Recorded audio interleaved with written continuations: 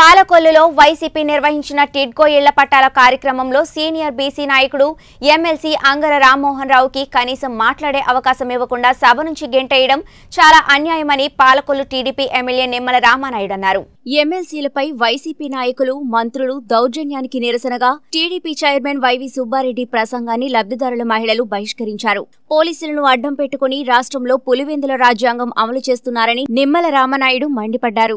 BC నాయకుడిని అవమానించిన YCP మంత్రుల వైఖరికి నిరసనగా గాంధీబొమ్మ సెంటర్ వద్ద తెలుగుదేశం పార్టీ బీసీ వర్గాలు ధర్నా చేశారు. బీసీ నాయకులను అవమానించిన మంత్రులు అధికారులపై చర్యలు తీసుకోవాలని అంబేద్కర్ జ్యోతిరావు పూలే విగ్రహాల వద్ద తెలుగుదేశం పార్టీ బీసీ వర్గ వర్గాల నిరసన తెలియజేశారు. ప్రోటోకాల్ లేని నియోజకవర్గ ఇన్ఛార్జ్ అధ్యక్షుడిగా వైసీపీ పార్టీ నాయకులతో పట్టాల పంపిణీ ప్రభుత్వ కార్యక్రమం కాదని ముమ్మాటికి పార్టీ కార్యక్రమమే నిర్వహించారని ఎమ్మెల్యే నిమ్మల రామనాయుడు మండిపడ్డారు.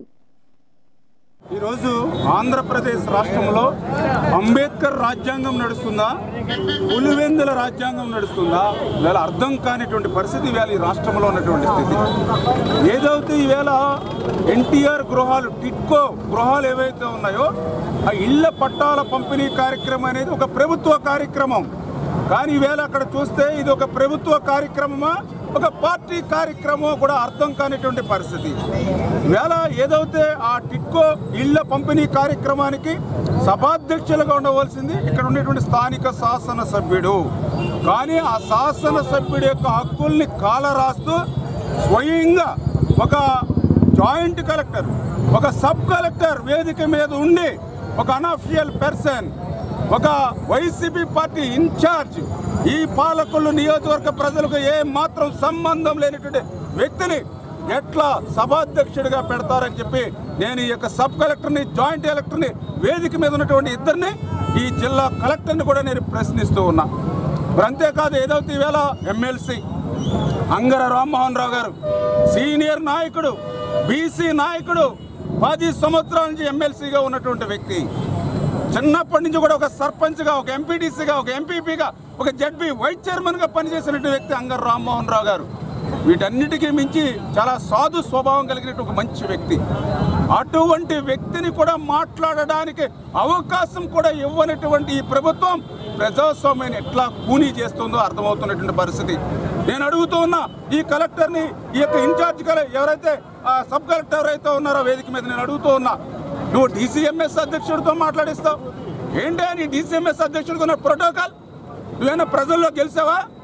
నామినేటెడ్ పోస్ట్కి జగన్మోహన్ రెడ్డి దయా దాక్షిణ్యాలతో నువ్వు డీసీఎంఎస్ చైర్మన్ అయ్యావు. జగన్మోహన్ రెడ్డి దయా దాక్షిణ్యాలతో నువ్వు డీసీపీ అధ్యక్షుడు అయ్యావు మీరెవరు ఇక్కడ సభాధ్యక్షుడు మాట ఉండడానికి మీరెవరు ఇక్కడ సభలో మాట్లాడడానికి? పోనీ మీరు మాట్లాడినా మేము బాధపడలా. కానీ ప్రజల చేత ఎన్నుకోబడినటువంటి ప్రజాప్రతినిధి ఒక బీసీ నాయకుడు ఒక సీనియర్ నాయకుడిని కనీసం రెండు నిమిషాలు మాట్లాడతామని రిక్వెస్ట్ చేస్తే రిక్వెస్ట్ చేసినా కూడా ఆయనకు మైక్ ఇవ్వలేదు అని అంటే ఎంత నిరంకుశబద్ధమైనటువంటి పాలన పైగా రౌడీయిజం వేదిక నిండా కూడా వైసీపీ నాయకులతో పెట్టుకున్నారు. మేము తెలుగుదేశం పార్టీ ప్రతిపక్ష శాసనసభ్యుడిని ఒక ఆయన ప్రతిపక్ష ఎమ్మెల్సీ ఇద్దరమున్న వేదిక మీద. ప్రోటోకాల్ లేనిటువంటి వాళ్ళు ఇరవై ముప్పై మంది మండల కమిటీ అధ్యక్షులు వార్డు ఇన్ఛార్జీలు. అసలు వీళ్ళందరికీ వేదిక మీద పని ఏంటి అసలు? అంటే నువ్వు ఎక్కడా కూడా ఒక రాక్షసమైనటువంటి పాలన అంటే ఒక గుంపుగా మెదడిపోవడం ఒక గుంపుగా దౌర్జన్యానికి రావడం. ఇదే అంటే రాష్ట్రంలో ఏ రకమైనటువంటి పాలన చేస్తున్నారు ఇవాళ పాలకొల్లు?